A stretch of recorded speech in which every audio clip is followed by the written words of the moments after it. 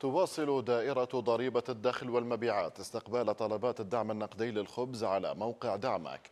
وقد بدأ تقديم الطلبات إلكترونيا منتصف الليلة الماضية على أن يستوفي المتقدمون شروط استحقاق الدعم التي تنطبق على الأسر التي يقل مجموع دخل أفرادها خلال عام 2018 عن 12 ألف دينار. كما تنطبق على الفرد الذي يحمل دفتر عائلة وحده ويقل دخله السنوي عن 6000 دينار. ومعنا مدير عام دائرة ضريبة الدخل والمبيعات السيد حسام أبو علي. أهلا بك سيد حسام. سيد حسام يعني عدد المتقدمين حتى هذه اللحظة. شكرا أخي العزيز. الواقع دائرة ضريبة الدخل والمبيعات ووفقا لقرار مجلس الوزراء ابتدأت من بداية هذا اليوم باستقبال طلبات الدعم النقدي من المواطنين اللي بيستحقوا الدعم والواقع بلغ لغاية هذه اللحظة حوالي 78 ألف طلب تم تقديمه على الموقع الإلكتروني والواقع ونتابع هذا تقديم الطلبات من إخواتنا المواطنين أول بأول. وبحب أوضح أنه الموقع بيستقبل الطلبات دعمكم.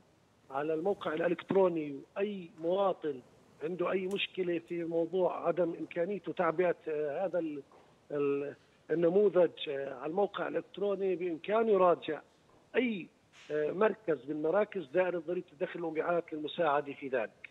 نعم سيد حسام يعني هل حدثت أي مشاكل على الموقع الإلكتروني؟ شكرا جزيلا الواقع الموقع الإلكتروني باشر عمله اعتبارا من منتصف الليل مع بداية اليوم 20 الشهر حسب قرار مجلس الوزراء وإطلاقا الموقع يستقبل تقريبا 3 إلى 4000 كل خمس دقائق في في وقت الذروة وما في أي مشاكل. بس إخواننا المواطنين إذا بدخل أول مرة وما تمكن كان في ضغط على الموقع بإمكانه يرجع يقدم الطلب. الموقع يسير بشكل جيد. والرقم اللي ذكرته من أول يوم هذا بأول يوم نحكي عن 78 ألف طلب.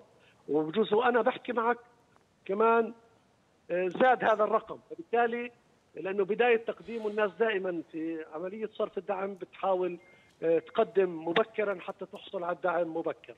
نعم. سيد حسام إلى متى متاح للمواطنين تقديم الطلبات؟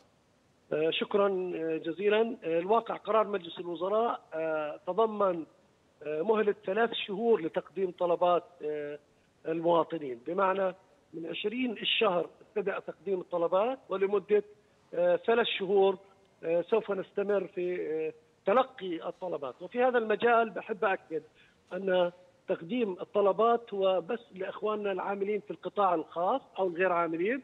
أما العاملين في القطاع العام سواء مدني أو عسكري أو أجهزة أمنية أو أيضا المتقاعدين سواء كانوا متقاعدين مدنيين أو عسكريين أو ضمان اجتماعي.